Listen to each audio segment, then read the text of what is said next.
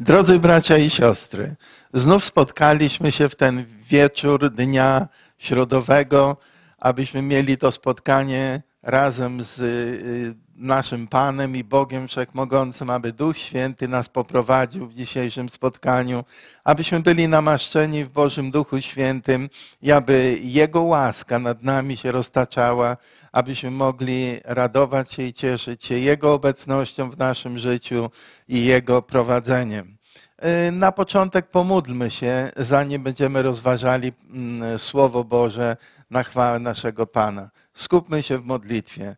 Panie nasz Boże, jesteśmy przed Twoim obliczem dzisiaj zgromadzeni na tym miejscu, aby wyznawać Ciebie jako naszego Boga, jako naszego Pana, jako naszego Króla, jako Wszechmogącego Odkupiciela, który nas ratuje ze wszelkich problemów i trudności, który nas zbawia, który nas odkupił, który zapłacił najwyższą cenę za nasze grzechy. Panie, Ty nas uwolniłeś od tych wszystkich grzechów, tych wszystkich nieprawidłowości, które nie pozwalały nam wejść do Twojego królestwa. Ale jesteśmy uwolnieni, jesteśmy w Twoim Duchu Świętym prowadzeni. Dlatego przyjmij hołd i przyjmij cześć, że znów darowałeś nam ten wieczorny czas, w którym będziemy mogli przed Twoim obliczem rozważać Twoje słowo i radować się Tobą. Błogosław każdą osobę, która będzie skupiona w Twoim Duchu Świętym, która będzie trwała w modlitwie i rozważaniu Twojego świętego słowa. Błogosław nas, Panie, i prowadź w Twoim namaszczeniu, a Tobie niech będzie chwała, cześć, uwielbienie odtąd aż na wieki wieków. Amen. Drodzy bracia i siostry, chciałbym dzisiaj rozważyć fragment Słowa Bożego, który jest zapisany w liście apostoła Pawła do Galacjan, piąty rozdział 13 do 18, a później 24, 26 i od początku szóstego rozdziału do szóstego wersetu, a później werset dziesiąty. Czytamy w imieniu Pana naszego Jezusa Chrystusa, list do Galacjan. Bo wy do wolności powołani zostaliście bracia, tylko pod pozorem tej wolności nie pobłażajcie ciału, ale służcie jedni drugim w miłości. Albowiem cały zakon streszcza się w tym jednym słowie, mianowicie w tym, będziesz miłował bliźniego swego jak siebie samego. Lecz jeśli jedni drugich kąsacie i pożeracie, baczcie, abyście jedni drugich nie strawili. Mówię więc, według ducha postępujcie, a nie będziecie pobłażali rządzy cielesnej, gdyż ciało pożąda przeciwko duchowi, a duch przeciwko ciału. A te są sobie przeciwne, abyście nie czynili tego, co chcecie. A jeśli duch was prowadzi, nie jesteście pod zakonem. 24. A ci, którzy należą do Chrystusa Jezusa, ukrzyżowali ciało swoje wraz z namiętnościami i rządzami. Jeśli według ducha żyjemy, według ducha też postępujmy. Nie bądźmy chciwi próżnej chwały, jedni drugich drażniąc, jedni drugim zazdroszcząc. I szósty rozdział od pierwszego wersetu. Bracia, jeśli człowiek zostanie przyłapany na jakimś upadku, wy, którzy macie ducha, poprawiajcie takiego w duchu łagodności, bacząc każdy na siebie samego, abyś i ty nie był kuszony. Jedni drugich brzemiona noście, a tak wypełnicie zakon Chrystusowy. Jeśli bowiem kto mniema, że jest czymś, będąc niczym, ten samego siebie oszukuje.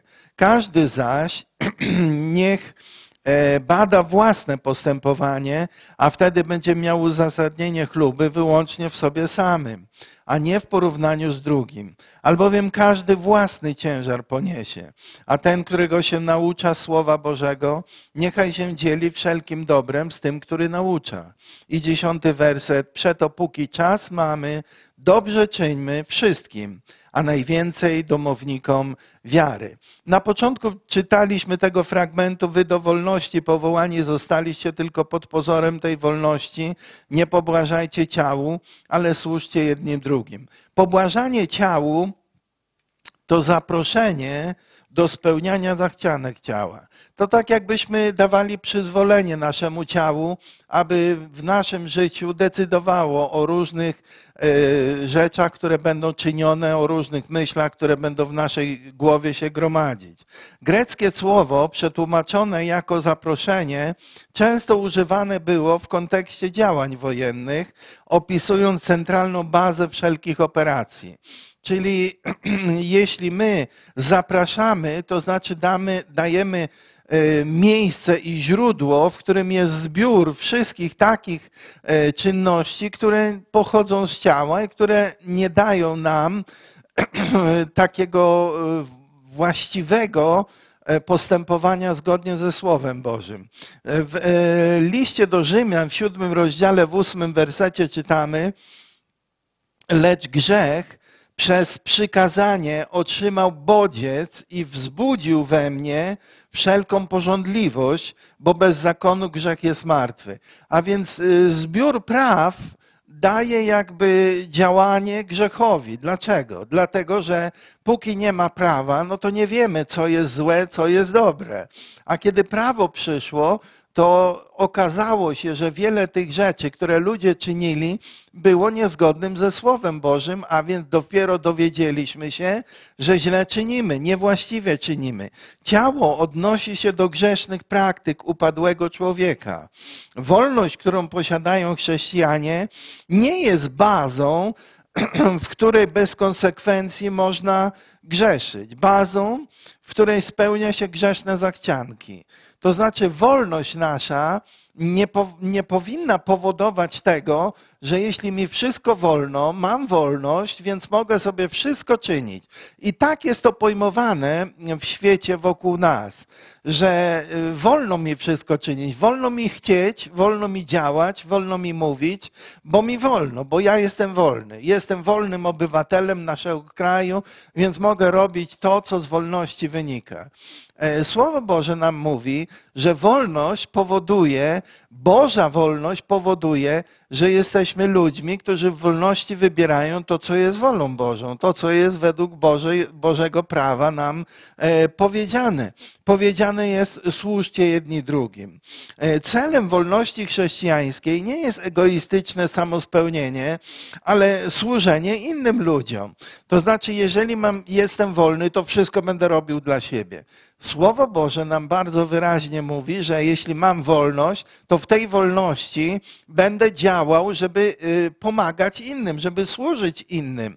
E, w Słowie Bożym wyraźnie czytamy i to w bardzo wielu miejscach, gdzie jest powiedziane na przykład o darach Ducha Świętego, że wszystkie dary Ducha Świętego w zasadzie oprócz jednego, mówienia innymi językami, to są dary, które są dla społeczności, nie są dla nas, tylko są nam dane, żebyśmy usługiwali dla innych. A więc widzimy, że wolność w Jezusie Chrystusie, wolność w Bożym Duchu Świętym powoduje, że jesteśmy tymi, którzy innym pomagają. W Rzymian w 14 rozdziale, w pierwszym wersecie i w trzynastym wersecie. czytamy tak, a słabego w wierze przyjmujcie, nie wdając się w ocenę jego poglądów.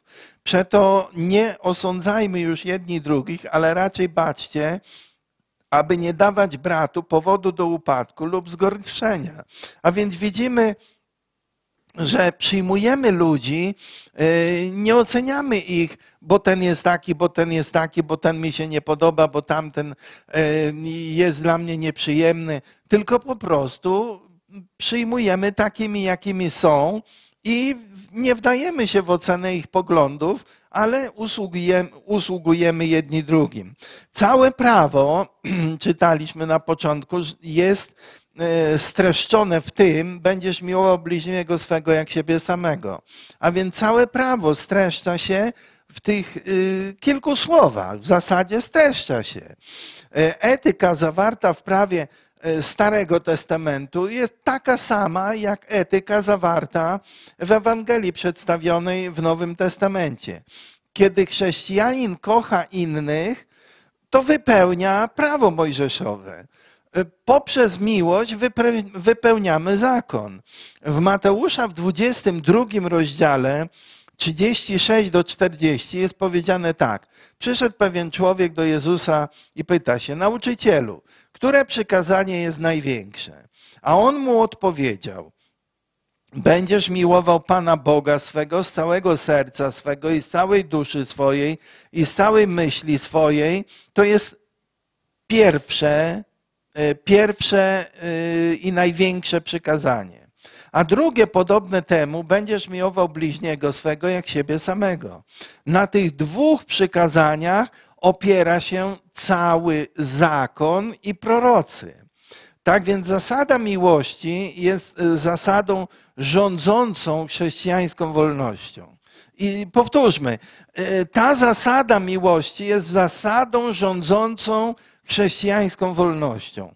E, bo jeśli my w miłości żyjemy dla Boga i żyjemy dla ludzi, no to nie będziemy dla nich nic przykrego czynili.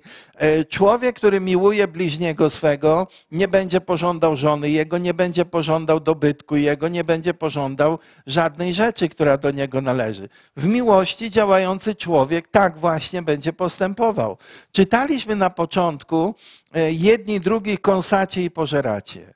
To jest takie y, dziwne stwierdzenie, kąsacie i pożeracie y, i widzimy, że to jest użyte porównanie, jakby porównanie do dzikich zwierząt, które atakują siebie nawzajem.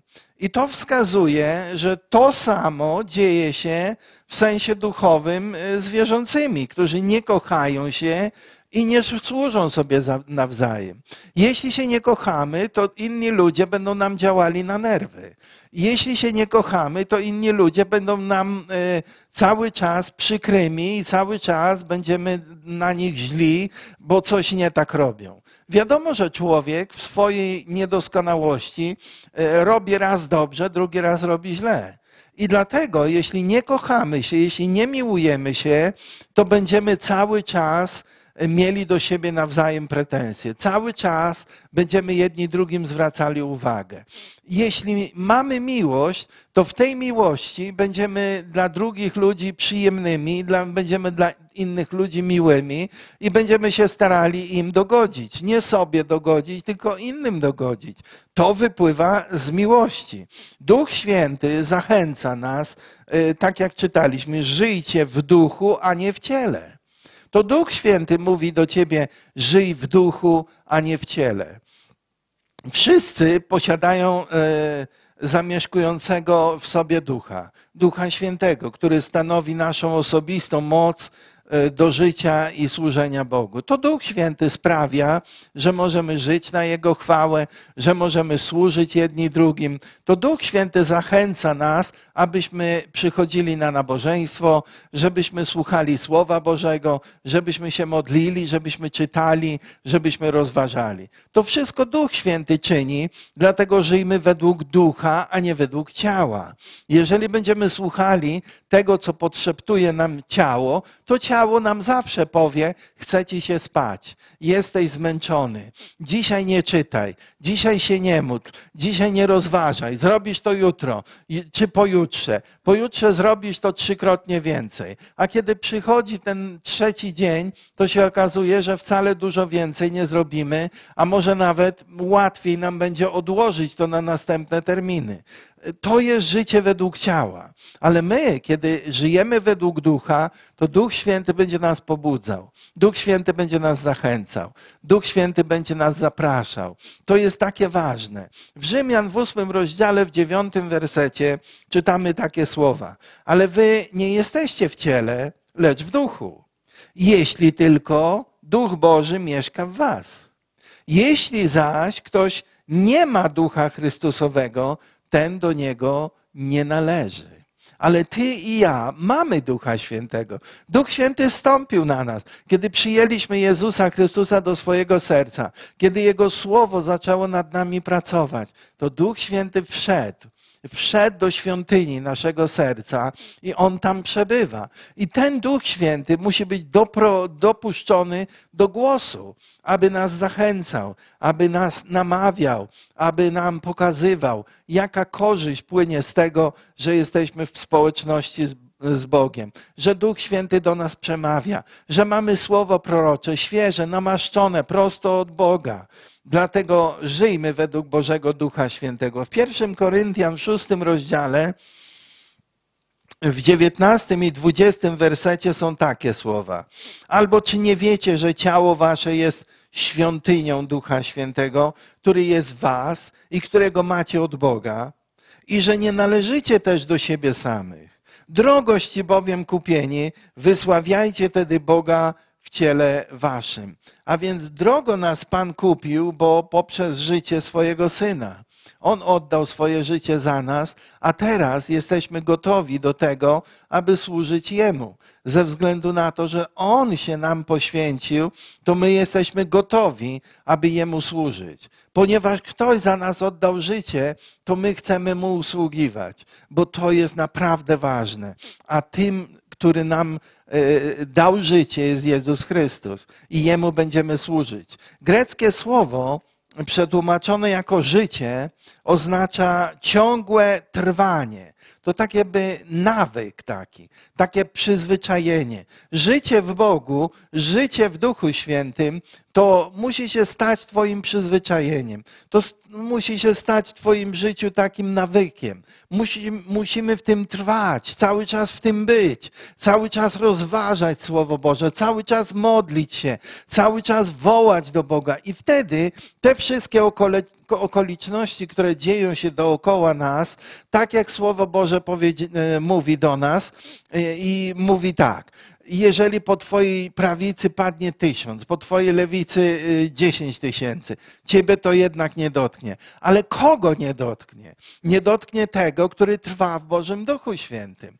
Y, nie dotknie tego, który jest gotowy służyć Bogu i wykonuje to. I Jego słowo ma wpływ na życie takiego człowieka. A więc wiedzmy, że Bóg podejmuje swoją ochronę nad nami, jeśli my trwamy w Jego Słowie, jeśli my mamy taki nawyk żyć w Duchu Świętym. Wierzący poddaje się pod kontrolę Ducha Świętego. My musimy się poddawać pod kontrolę Ducha Świętego. Jesteśmy e, więc posłuszni prostym poleceniom Słowa i wzrasta w nas życie duchowe. Y, jesteśmy posłuszni wtedy podstawowym zasadom Pisma Świętego, jeśli poddajemy się pod kontrolę Bożego Ducha Świętego. Słowo Boże nam mówi w Efezjan 5:18 i nie upijajcie się winem, które powoduje rozwiązłość, ale bądźcie pełni ducha. A więc zamiast wypić szklankę wina, bądź pełny ducha, inaczej mówiąc tak Słowo Boże mówi. Słowo Boże nam jasno wyraża e, tą myśl, która jest ważna. Nie to, co dla ciała jest ważniejsze, tylko to, co dla Ducha Świętego jest ważniejsze.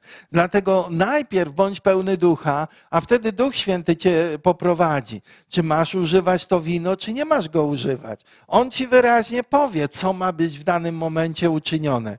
Dlatego bądźmy ludźmi, którzy poddają się pod panowanie Bożego Ducha Świętego. W Kolosan 3,16 czytamy: Słowo Chrystusowe niech mieszka w Was obficie. Słowo Chrystusowe niech mieszka w nas obficie. To znaczy dużo, to znaczy często, to znaczy jak siadasz czytać, to nie czytaj jednego wersetu, tylko minimum jeden rozdział czytaj, a możesz ich przeczytać dużo więcej. We wszelkiej mądrości nauczajcie, napominajcie jedni drugich przez psalmy, hymny, pieśni duchowne, wdzięcznie śpiewając Bogu w sercach waszych. A więc jeżeli my chcemy napominać innych ludzi, to słowa do napomnienia bierzmy z psalmów, hymnów, pieśni duchownych, i wtedy się okaże, czy chcemy złe słowa wypowiadać do tych ludzi, ale takich słów w hymnach, pieśniach duchownych i psalmach nie znajdziesz. Dlatego właśnie jest powiedziane, jeśli chcesz napominać, to tak jak Słowo Boże mówi. W psalmach, hymnach i pieśniach duchownych szukaj słów do tego, żeby napomnieć. Yy, wierzę, że jeśli będziemy naprawdę napominali przez psalmy, hymny i pieśni duchowne, to nie padną z naszych ust żadne nieczyste słowa. nie padną żadne przekleństwa, nie padną żadne złośliwe słowa, bo w psalmach, hymnach i pieśniach duchownych takich nie znajdziemy. Dlatego właśnie jest powiedziane, żebyśmy napominali pod wpływem Słowa Bożego, pod wpływem pieśni, pod wpływem psalmów. Bądźmy temu posłuszni, a będziemy jedni dla drugich ludźmi miłymi i pełnymi miłości. Życie w ciele nie ma znaczenia tylko materialnego. Chodzi tu jeszcze o nasz umysł. Jak mówimy o tym, że żyjemy w ciele, no to tu pod uwagę bierzemy też nasz umysł, wolę, emocje. To wszystko jest y, według ciała. Emocje nasze są według ciała. Y, myśli nasze i wola nasza jest według ciała. Y, I one znajdują, znajdują się w naszym życiem pod władaniem grzechu.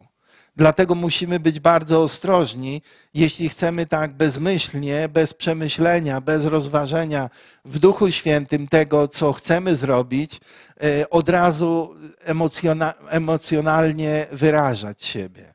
E, ciało odnosi się więc do ogółu nieodkupionego człowieczeństwa w nas. Nieodkupione człowieczeństwo przynosi w nas po prostu grzech po prostu porządliwość. Pragnienia są ze sobą sprzeczne wtedy.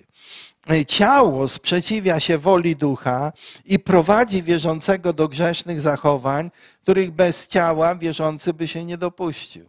Gdybyśmy nie mieli ciała, to nie mielibyśmy takich, e, takich e, w sercu naszym pożądań, które są grzeszne. E, to ciało powoduje, że mamy takie pożądania i mamy takie pragnienia, żeby niewłaściwie postępować w życiu naszym. Dlatego, że ciało zawsze sprzeciwia się woli Ducha Świętego. Jeśli Duch was prowadzi, nie podlegacie prawu, nie podlegacie zakonowi. Jeśli Duch nas prowadzi, a więc widzimy, jakie ważne jest, żeby to Duch Święty właśnie nas prowadził i abyśmy byli pod Jego wpływem, abyśmy byli pod Jego działaniem. Te dwie rzeczy wykluczają się nawzajem. Dwie rzeczy, e, o których teraz powiem, wykluczają się nawzajem. Po pierwsze, człowiek albo może żyć w mocy Ducha Świętego, z czego wynika sprawiedliwe zachowanie oraz odpowiednie duchowe nastawienie, albo po drugie, może znajdować się pod wpływem prawa, co prowadzi jedynie do niesprawiedliwego zachowania i złego nastawienia. Dwojakie może być działanie człowieka. I wiedzmy, że tak albo pod wpływem Ducha Świętego będziemy działać i wtedy będziemy uświęceni, albo będziemy działać pod wpływem prawa tylko, przestrzegania prawa. A wiemy, że człowiek fizycznie, cieleśnie nie jest w stanie całkowicie przestrzegać prawo. Ludzie próbowali to przez wiele tysięcy lat, kiedy był zakon. I komu się udało? Komu się udało przestrzegać tych wszystkich praw? Jednemu człowiekowi. My go osobiście dobrze znamy. Jezus Chrystus. E, to jest jedyny człowiek, któremu udało się przestrzegać prawa. Nie udało się, w zasadzie musimy e, prawdę powiedzieć, ale on po prostu to prawo ustanowił, dlatego to prawo też i wprowadzał w życie, pokazywał, jak się to czyni i stał się przykładem dla wszystkich ludzi. W 1 Koryntian, 15 rozdziale, 56 wersecie jest powiedziane tak. A żądłem śmierci jest grzech, a mocą grzechu jest zakon. A więc żądą śmierci to grzech. A więc jeśli grzeszysz, umrzesz. Jeśli grzeszymy, odpadniemy od Pana i nie wejdziemy do królestwa. Ale mocą grzechu jest zakon. To znaczy, że zakon dopada ciebie w tym miejscu, gdzie przekraczasz jego przepisy. I dlatego właśnie to wszystko zazębia się i jakby tworzy wokół nas taki krąg, z którego nie można się wyrwać. Nie można się wyrwać po ludzku rzecz biorąc, mówiąc o naszym człowieczeństwie, mówiąc o naszej grzesznej naturze. Natomiast jeżeli my jesteśmy prowadzeni przez Bożego Ducha Świętego, to nie jesteśmy w tym kręgu. Jesteśmy w okręgach niebieskich. Jesteśmy w innym świecie. Jesteśmy na innej płaszczyźnie. To Bóg nas prowadzi. Ci, którzy należą do Chrystusa Jezusa, ukrzyżowali ciała swoje. A więc zobaczmy, jest przytaczany e, przykład e, cierpienia i krzyżowania. I w Nowym Testamencie zostało cztery razy użyte słowo ukrzyżowali i nie odnosi się to do ukrzyżowania Chrystusa. Cztery razy tylko jest tak powiedziane. Ja chciałbym zacytować te fragmenty, abyśmy wiedzieli. W Galacjan jest, e, trzy, są trzy z tych fragmentów i jeden w Rzymian. Galacjan, drugi rozdział, dwudziesty werset mówi tak. Z Chrystusem jestem ukrzyżowany.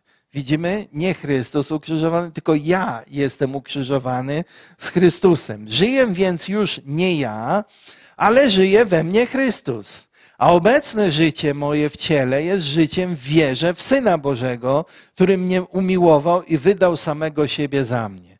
Widzimy, to nie oznacza, że my mamy być fizycznie przybici do krzyża, ale tu jest wyraźnie to wytłumaczone.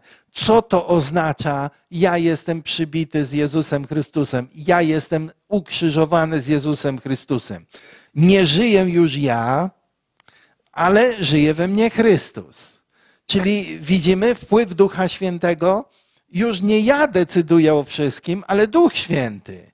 Ten duch, którego posłał Jezus Chrystus, kiedy w niebo wstępował. Widzimy? I On w nas mieszka i On powoduje, że to nie my żyjemy, tylko Chrystus w nas żyje. Obecne życie moje w ciele jest życiem w wierze.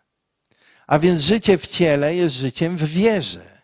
Już nie żyję jako człowiek, który w nic nie wierzy, albo człowiek, który ma kruchą wiarę i nigdy na tej wierze stanąć nie może, żeby coś od Pana otrzymać, tylko żyjemy w wierze. I to jest praca Bożego Ducha Świętego w wierze w Syna Bożego. Jest dokładnie powiedziane, w kogo mamy wierzyć, który mnie umiłował i wydał samego siebie za mnie. To jest ważne. Kochani, e, drugi z tych fragmentów jest zapisany w tym, e, który czytaliśmy na samym początku e, w fragmencie słowa Galacjan 5, 24. Ci, którzy należą do Chrystusa Jezusa, ukrzyżowali ciała swoje. Należysz do Jezusa Chrystusa, ciało swoje masz ukrzyżowane. A więc jesteś człowiekiem, w którym w życiu ciało, wola, zmysły nie mają nic do powiedzenia, dopóki Duch Święty się nie wypowie. To jest takie ważne, że jeżeli kogoś szanujemy, to nie my pierwsi będziemy mówić, tylko będziemy czekali, że on się najpierw wypowie. Jeżeli kogoś naprawdę szanujesz, jeżeli kogoś naprawdę kochasz, to poczekasz, że ktoś się wypowie, a, e, a nie ty będziesz pierwszy się wypowiadał. E, kochani, to jest niezwykle ważne, abyśmy zdawali sobie z tego sprawę, że jeśli siebie stawiamy na samym przedzie, to oznacza, znaczy, że wszystkich innych uważamy za mniejszych od siebie. Bardzo często, jak ludzie opowiadają o jakimś wydarzeniu, w którym uczestniczyli, to mówią, że w, tym, e, w tej sytuacji, w tych okolicznościach byłem ja, Jurek, Andrzej, Ewa ale siebie wymieniamy na początku. I to oznacza, że siebie najbardziej szanujemy. Jeśli zwrócimy na to uwagę, aby innych e, e, na początku e, wymienić, a siebie na końcu, to oznacza, że naprawdę zwracamy uwagę na to, żeby innych uszanować, żeby innych postawić przed sobą, żeby innych mieć za wyższych od siebie. Zwróćmy na to uwagę. To jest takie niby proste, ale może się okazać, że to wskaże nam, w jakim kierunku mamy zmierzać, abyśmy mieli jedni drugich wyższych od siebie. Trzeci fragment, który mówi o ukrzyżowaniu, a nie ukrzyżowaniu Chrystusa, to jest Galacjan 6, 14. I tam jest powiedziane tak. Co zaś do mnie, niech mnie Bóg uchowa, abym miał się chlubić z czego innego, jak tylko z krzyża Pana naszego Jezusa Chrystusa, przez którego dla mnie świat jest ukrzyżowany, a ja dla świata. A ja dla świata jestem też ukrzyżowany, prawda? Świat jest ukrzyżowany dla mnie i ja dla świata jestem ukrzyżowany. Nie ma tutaj mowy o ukrzyżowaniu Jezusa Chrystusa, ale jest mowa o ukrzyżowaniu świata i ukrzyżowaniu mnie. A więc to jest trzeci fragment, który o tym mówi. I czwarty fragment wreszcie jest zapisany w Rzymian w szóstym rozdziale, w szóstym wersecie. Rzymian 6:6. Bardzo łatwo zapamiętać. Zapamiętaj to sobie, bo to jest ważne. I tu jest powiedziane tak: wiedząc to, że nasz stary człowiek został wespół z nim ukrzyżowany, aby grzeszne ciało zostało unicestwione, abyśmy już nadal nie służyli grzechowi. Aby nie służyć grzechowi i aby nasze ciało nie miało do powiedzenia w naszym życiu więcej niż Słowo Boże, to musi to nasze ciało ze zmysłami, z emocjami musi być ukrzyżowane. Razem z Chrystusem musimy to ukrzyżować. Dopiero wtedy nie ma nic do powiedzenia w naszym życiu. I właśnie walczmy o to, aby y, te wszystkie okoliczności świeckie, te wszystkie okoliczności światowe miały jak najmniej do powiedzenia w naszym życiu. Aby na pierwszym miejscu było Słowo Boże, Boży Duch Święty, Boże działanie, niebiańskie działanie naszego Pana Jezusa Chrystusa. To jest naprawdę ważna rzecz w naszym życiu. Słowo Boże mówi, że ciało zostało już pozbawione życia. Jednak wierzącym nadal toczy się walka duchowa. E, ciało nasze jest pozbawione już życia. Tak mówi Słowo Boże. Więc nasze ciało jest unicestwione, nie ma naszego ciała. Ale dalej walczymy. Dlaczego dalej walczymy? Bo to ciało martwe, ale nadal mamy. I dlatego musimy nie pozwolić, aby ono powstawało do życia, aby miało coś do powiedzenia w naszym życiu. Jeżeli człowiek jest martwy, to nie ma nic do powiedzenia, ale jeśli ożyje, to zacznie znowu działać. I dlatego właśnie my jesteśmy postawieni na straży w naszym życiu, abyśmy dopilnowali, żeby nasze ciało cały czas nadal było martwe, żeby nie powstawało ponownie do życia, żeby nie próbowało mieć znowu coś do powiedzenia w naszym życiu. Jako wierzący musimy spoglądać cały czas na krzyż. Na krzyż Jezusa Chrystusa, na którym został ukrzyżowany Chrystus, gdzie pokonane zostały śmierć i cielesność, oraz ich moc do władania nad nami. My musimy, patrzeć na krzyż Jezusa Chrystusa i ten krzyż nie jest ważny dla nas jako fizyczny krzyż, drewniany czy metalowy, jaki byśmy nie zrobili, ale najważniejszy jest ten krzyż w duchu naszym. Ten krzyż, który jest mocą naszą ku zbawieniu. Mocą naszą jest Boży Krzyż. Mocą naszą Chrystusowy Krzyż przynosi nam zwycięstwo w życiu naszym na każdy dzień. Musimy jako chrześcijanie czekać do momentu osiągnięcia chwały, abyśmy mogli zupełnie pozbyć się swojego nieodkupionego człowieczeństwa. Musimy czekać, aż chwała Pańska przyjdzie, aż będziemy do tej chwały zabrani na wieki wieków, abyśmy żyli w tej chwale, abyśmy byli pozbawieni naszego e, nieodkupionego człowieczeństwa, tego, tego cielesnego życia. Ale to nastąpi, my o tym wiemy. Możemy jednak żyć w Duchu Świętym. E, mając jeszcze nadal to ciało, możemy żyć w Duchu Świętym i dzięki temu podobać się Bogu. E, Bogu nie podobają się ci, którzy nie żyją w Duchu Świętym. Podobają się ci, którzy, którzy żyją w Duchu. Słowo Boże nam wyraźnie w liście do Hebrajczyków mówi, że y, podobają się Bogu ci, którzy mają wiarę. Bo bez wiary Bogu podobać się nie można. Dlaczego? Dlatego, że bez wiary nie możemy żyć w duchu. Bez wiary nie możemy żyć w zwycięstwie nad naszą cielesnością, nad naszymi ziemskimi rzeczami. Zobaczmy, gdybyśmy tylko naszym rozumem żyli jako chrześcijanie, to byśmy bardzo dużo pomyłek różnych w naszym życiu robili. Ale kiedy żyjemy w Duchu Świętym, będąc prowadzeni przez Ducha Świętego, będąc prowadzeni przez Jego prorocze Słowo, będąc prowadzeni przez Jego Pismo Święte, będziemy ludźmi, którzy są zwycięzcami, którzy zwyciężają złego, którzy zwyciężają swoje ciało, którzy są cały czas po właściwej stronie, po stronie Bożej. I to jest naprawdę bardzo ważne. W Rzymian w ósmym rozdziale 23 wersecie czytamy takie słowa. A nie tylko ono, lecz i my sami, którzy posiadamy zaczątek ducha, wzdychamy w sobie, oczekując synostwa, odkupienia ciała naszego. Widzimy cały czas, wszystko wzdycha, e, cały czas boleje, e, oczekuje objawienia się synów Bożych, oczekuje e, tego, żeby to synostwo już przyodziać, żeby to synostwo już było w nas, żebyśmy byli tymi ludźmi z odkupionym ciałem. Czekamy na ten czas. I on nastąpi, on już niedługo nastąpi. Po tych wszystkich wydarzeniach, które dzieją się wokół nas, widzimy, że czas nadchodzi, że chwała Pańska przychodzi. I tak jak na początku czytaliśmy, jak człowiek zostanie przełapany na jakimś upadku, wy, którzy macie ducha, poprawiajcie takiego w duchu łagodności. Uważajcie jednak każdy na siebie samego, abyś i ty nie był kuszony. My musimy, zwracając innym uwagę, patrzeć też na siebie. Abyśmy my nie odstąpili od Pana, abyśmy my nie odpadli z Jego łaski. E, przyłapany oznacza złapanie grzesznika na popełnianiu grzechu. Albo taka sytuacja, gdy e, wpadł on w sidła grzechu. I przyłapanie to jest po prostu obserwowanie. To jest obserwowanie i przyglądanie się.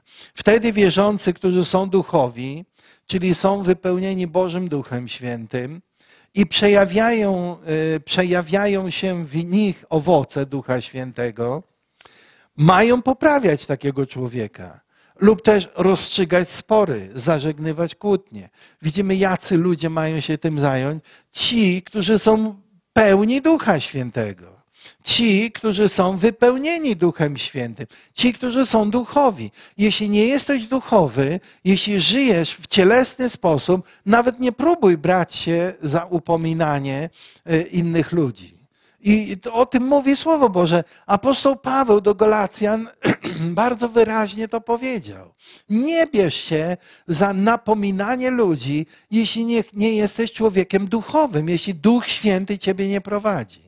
Jeśli się denerwujesz, jeśli cały czas e, inni ludzie działają ci na nerwy, nawet się nie bierz za upominanie. Bo Słowo Boże nam mówi, żeby upominać, trzeba mieć miłość.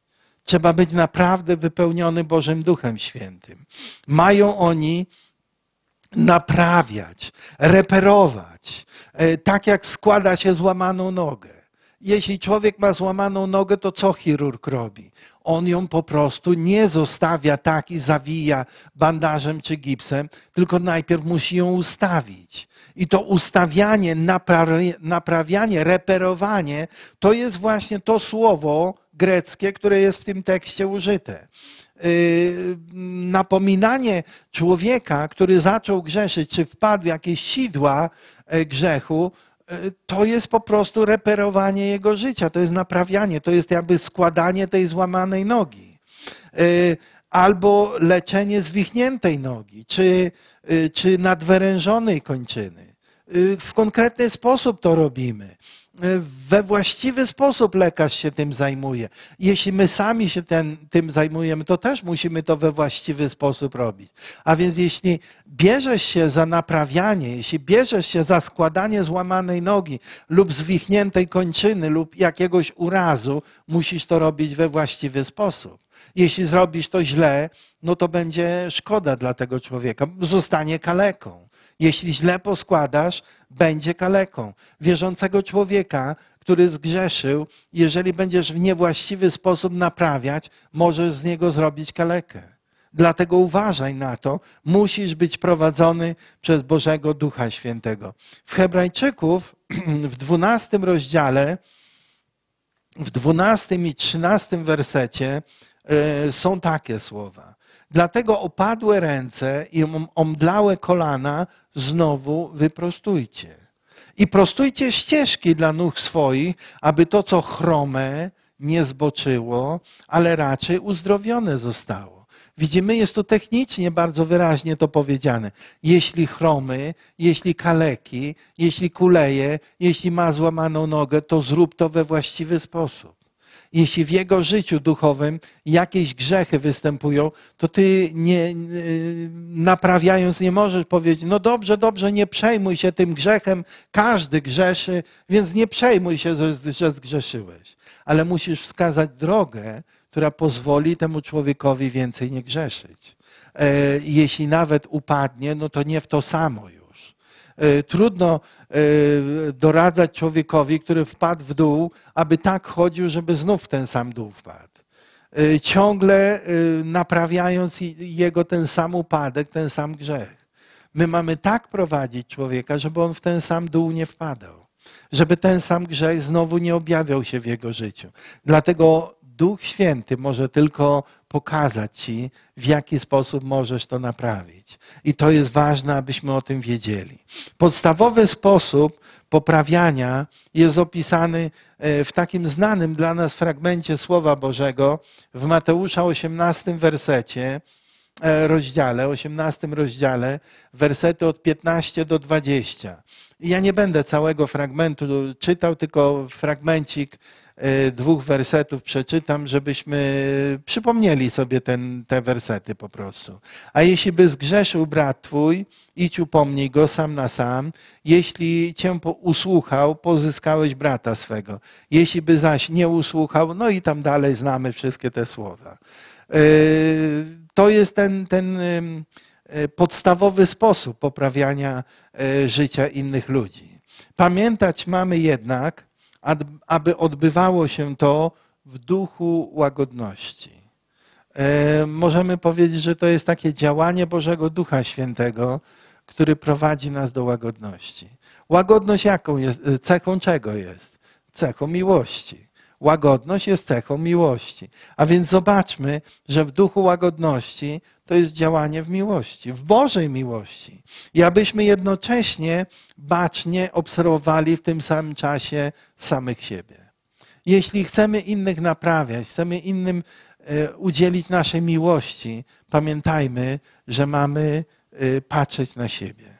To jest naprawdę niezwykle ważne, abyśmy to obserwowali. Tak jak czytaliśmy na początku wersety, i tu jest powiedziane w jednym e, z wersetów, e, że mamy, a ten, którego się naucza słowa, niechaj się dzieli wszelkim dobrem z tym, który naucza słowa.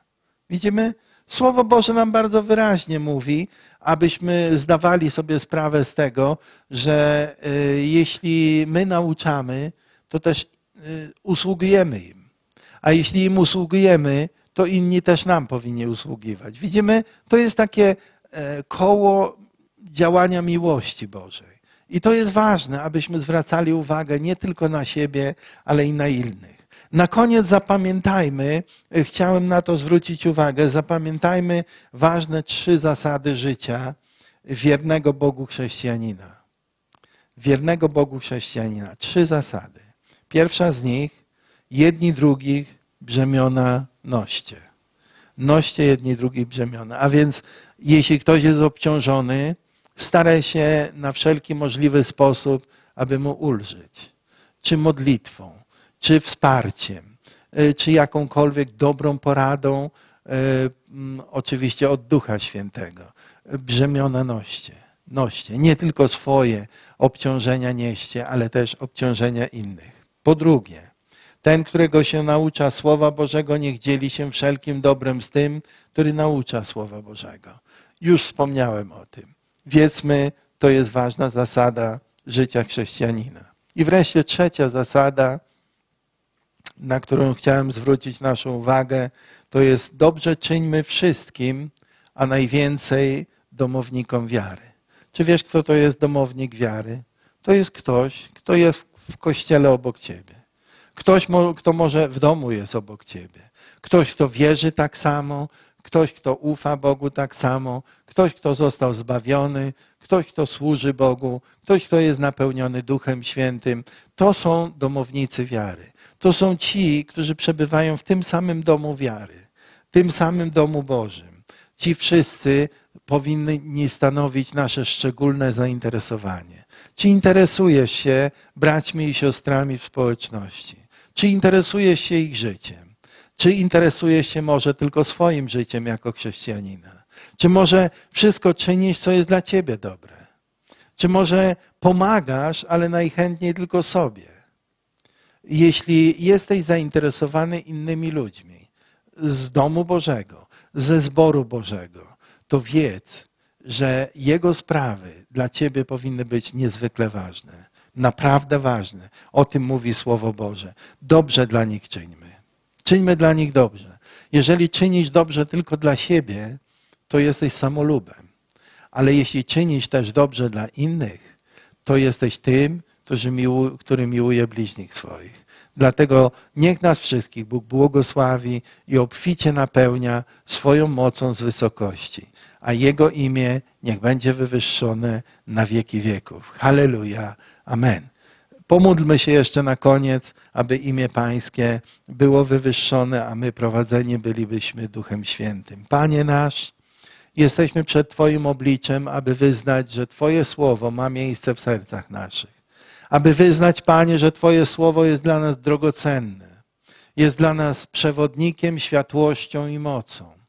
Duch Twój Święty tyle razy zwraca nam uwagę na Twoje słowo, aby Twoje słowo miało miejsce w życiu naszym, aby Duch Święty miał coraz więcej do powiedzenia w życiu naszym. Panie nasz, oddajemy Ci hołd, oddajemy Ci chwałę, oddajemy Ci cześć, że Ty nas zawsze słyszysz. Kiedy wołamy do Ciebie, kiedy modlimy się, kiedy wzywamy Twojego świętego imienia, Ty nas zawsze słyszysz. Zachowałeś i do tej chwili, Panie, zachowujesz cały czas społeczność dzieci Twoich. Panie, od tej zarazy zgubnej trzymasz nas mocno. Dziękujemy Ci za to z całego serca.